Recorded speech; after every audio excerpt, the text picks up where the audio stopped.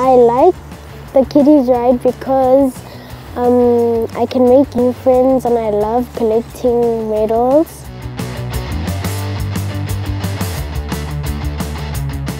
Hello everybody, my name is Aobakwe Monyatsi um, and I'm nine years old. I started cycling when I was about three, two years old and I love cycling.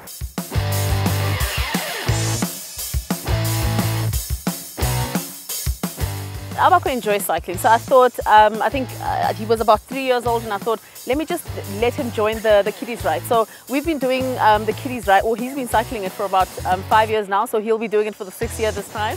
Um, he looks forward to it every single year, so that's, a, that's an event that we always um, practice for.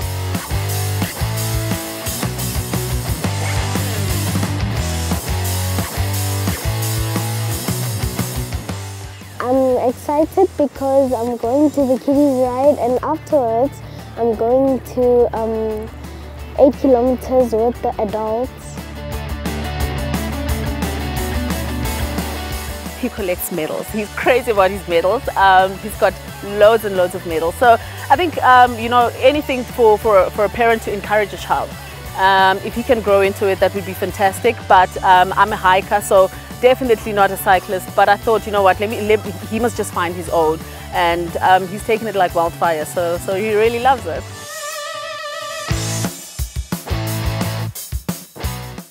All the adults out there, please come with your kids to Kiddies Ride. Um, I'm looking forward to seeing all of you. Uh, I hope you bring all the children.